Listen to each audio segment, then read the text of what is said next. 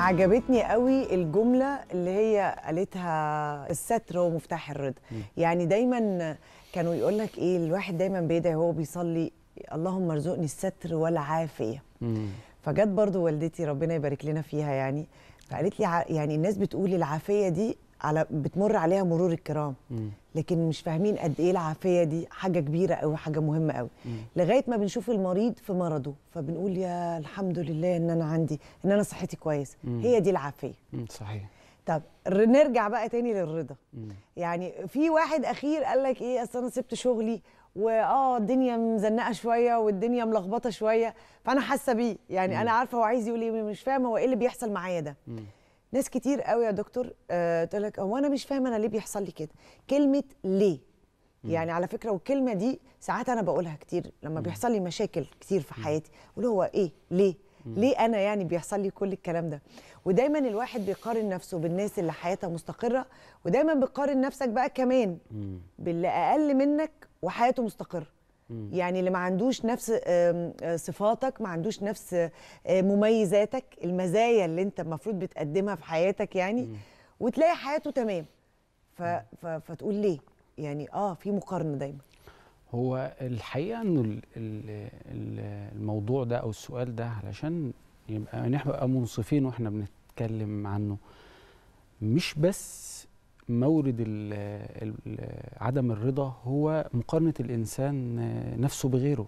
في مورد تاني وهو ال timeline في الفيسبوك وفي تويتر. طول الوقت عندي آه، فلانة راحت فلانة جت فلان سافر فلان اشترى فلان باع فلان مجتمع ب- بعض الفلاسفة يسموه مجتمع الفرجة.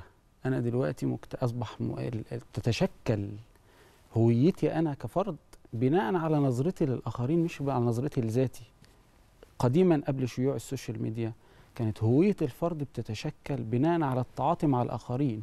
يعني يقعد مع أقعد مع حضرتك مثلا فتسمعيني وأسمعك تشوفي reactionات وشي وت- وتعابيري وكلامي فتتفاعلي معايا وأتفاعل معك هكذا. أيوه قبل لكن- ال social ميديا كمان كانت الستات ممكن تغير مثلا من آه سلفتها. نعم. كانت تغير مثلا من آه مرات أخوها. مم. يعني هم دول الستات اللي قدامي اللي أنا شايفاهم اللي هم في العيلة في المحيط آه، صاحبتها لو برضو شوية صحاب ففي واحدة فيهم هي اللي ممكن دايما تبص إن هي جابت وعملت. لكن فعلا زي زي زي ما حضرتك بتقول دلوقتي بنفتح ال social media كل الناس. طب أنا. من دي هقارن نفسي بدي ولا دي ولا دي ولا دي يحصل جنان. دي أصابتنا بشيء بقى. بيسموه آه، الهشاشة النفسية. أصبح آه. عند الإنسان هشاشة نفسية. بالمناسبة هي بتتقاطع مع الدين لكن هقول لحضرتك ال- التقاطعاتها مع الدين إزاي. لكن لما نرجع نشوف أو نحللها بناء على حتى الحالات اللي إحنا بنقعد معاها في وحدة حوار بيجيني مثلا زوج وزوجة عندهم مشكلة. لما تيجي تحل المشكلة بين الزوج والزوجة هم ما أدركوش إن انعكست دي على الجيل الثاني داخل الأسرة. الجيل الثاني اللي هو الولد والبنت. الولد والبنت بيبقوا حالة ليه بابا وماما دول بيتخانقوا طول آه بالظبط. ليه أنا أنا رافضة إن أنا ألتزم بأوامر الله؟ لأن أنا رافضة هذا الأب السلطوي العنيف اللي بيعمل وبيخلي وبيسوي. ال- ال- ال- ال- المعنى الأول وهو الهشاشة النفسية اللي أصابتنا دي إضافة إلى إن هذا الجيل اللي إحنا بنتعاطى معه أصيب بما يسمى بمتلازمة رقائق الثلج.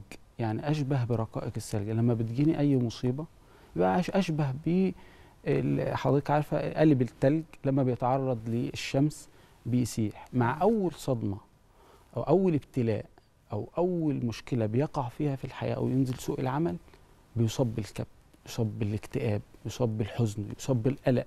لأنه شاف حياة الآخرين وعنده شيء من الهشاشة النفسية فأصابته بهذا بهذا المعنى بهذا الحزن وهذا القلق. آه، طيب. بتحكي